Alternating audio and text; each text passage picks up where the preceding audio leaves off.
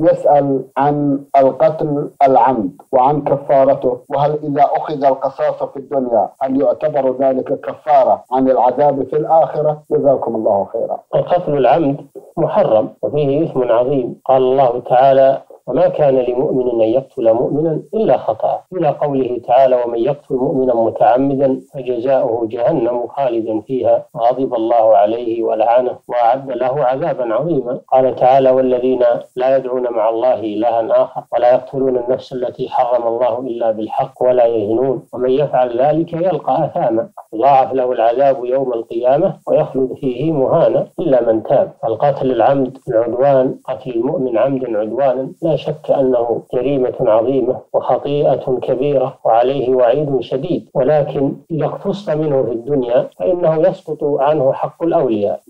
لأن قتل العمد يجب به ثلاثة أشياء نعم. حق لله سبحانه وتعالى وحق لأولياء المقتول وحق للقتيل.